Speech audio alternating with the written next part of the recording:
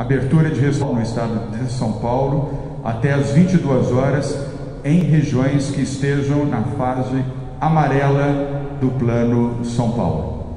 Há pelo menos duas semanas. Volto a repetir: abertura de restaurantes será permitido até às 22 horas, até às 10 horas da noite, em regiões que estejam na fase amarela do Plano São Paulo há pelo menos duas semanas. Portanto, 14 dias na fase amarela.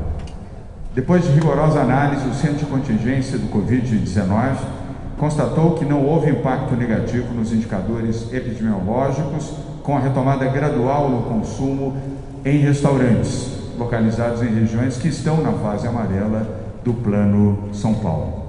A partir desta constatação, o governo do estado vai publicar decreto amanhã que autoriza a abertura de restaurantes, padarias e estabelecimentos de alimentação até às 22 horas.